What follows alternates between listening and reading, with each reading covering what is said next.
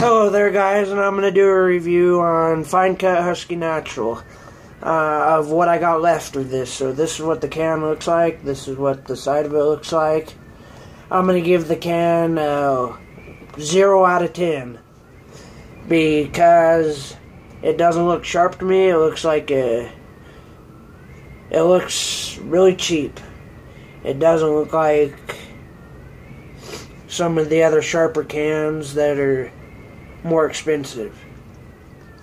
If you're curious to how much this is, it's four dollars. Here, anyways. Um, I already got one in. If you haven't noticed, um, so we're gonna do packability and pinchability. So packability gets uh, I'll give it a two, two out of ten. It it packed part of it, but it really didn't pack all that was there. If you can see that. And it just and it just fell apart and spilled. So that's why it's getting two out of ten. Um, pinchability, we're gonna pinch, we're gonna try to pinch some.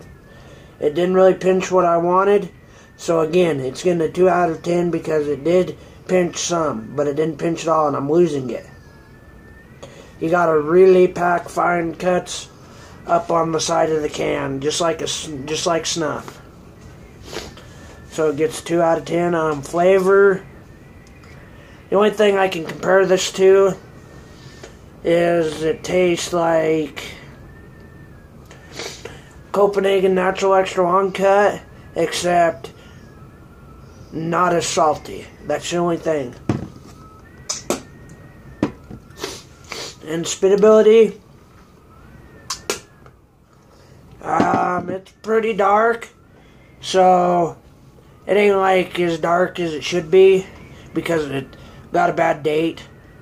I it could be part of the problem, but it's half decent. This dip is half decent. So what would I give it overall? I'm gonna give it a five out of ten. For a cheap dip, it's not bad, but it's not the greatest. So I got a shout out, and my shout out is at Honky Tonk Dipper 26. At Honky Tonk Dipper 26 is my shout out. So again, that's at Honky Tonk Dipper 26. So thanks for tuning into this video.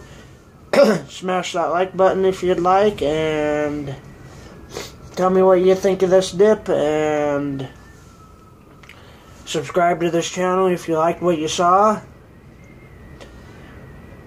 And one more thing before I close up on this, you have to spit a lot to get it to set just perfect in the mouth. I don't I don't know if that's just me, but I I gotta use my tongue a lot and spit a lot to before it gets really settled. And it seems like you lose quite a bit of the tobacco. So, thanks for tuning in. I'm out.